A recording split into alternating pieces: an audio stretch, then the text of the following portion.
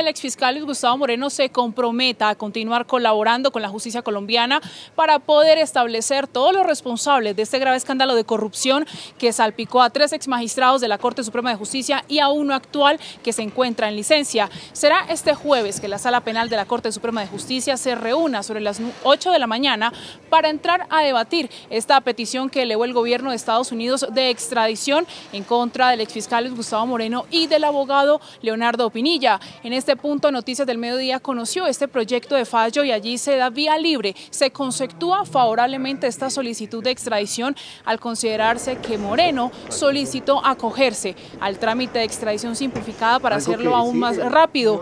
En este punto también el magistrado solicita que se tenga en cuenta que Moreno deberá continuar colaborando con la justicia, ya que se adelantan tres investigaciones contra congresistas implicados también en este escándalo de corrupción. Se espera que también se dé vía libre a la extradición de la abogado Leonardo Pinilla, ya que ambos son solicitados por Estados Unidos por el delito de conspiración para lavados activos. Esto a la información desde el centro de Bogotá, Paola Santofimio, Noticias del Mediodía.